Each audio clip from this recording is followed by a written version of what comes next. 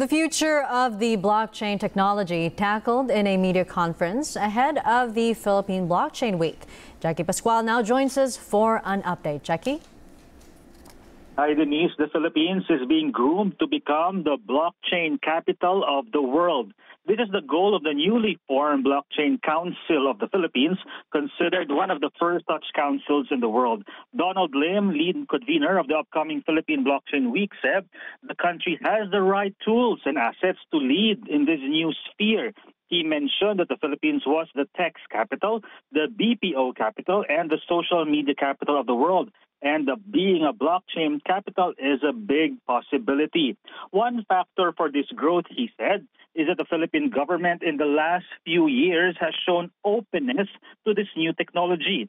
He also cited how Filipinos can quickly adapt to new changes in technology. Blockchain and Web3 are new terms that have been used in recent times to denote the development of the Internet. Blockchain is described as a digital database or decentralized ledger of transactions across users.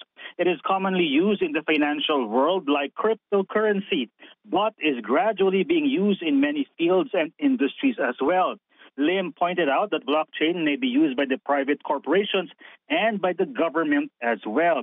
He also pointed out that blockchain is safe and secured. The new council knows that still many Filipinos do not fully understand blockchain and Web3.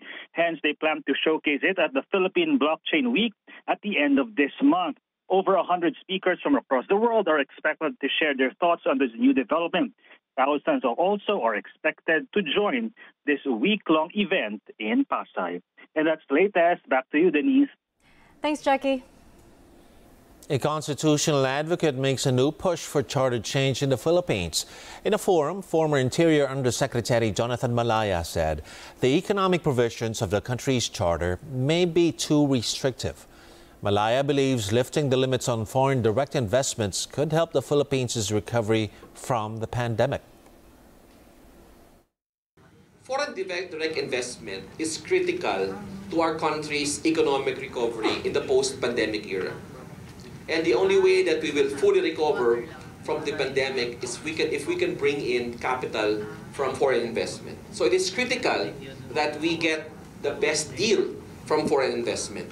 The problem with the, our constitution right now is that it adopted outright boundaries on the participation of foreign investors. The Philippines is only number six in foreign direct investment inflows in the ASEAN. In fact, the Philippines is perceived by the international community as the most restrictive in the ASEAN region. The low foreign direct investment impacts on our ability to increase the economy. And that is a result of the restrictive economic provisions of the 1987 Constitution. Passengers of LRT1 may face higher fares next year. The Department of Transportation says discussions on the fare adjustment for the oldest metro railway are ongoing. The department has been putting on hold the fare adjustment since the Light Rail Manila Consortium took over the operations in 2016. A fare adjustment every two years is part of the contract signed between the government and the consortium. The consortium filed petitions for fare increase in 2016, 2018, and 2020, but they were all disapproved by the government. Transportation Secretary Jaime Bautista says the consortium deserves to recover its investment. LRMC asked for at least a 5 peso increase in the minimum fare. If the petition is granted, the boarding fare will be 16 pesos from the current 11 pesos.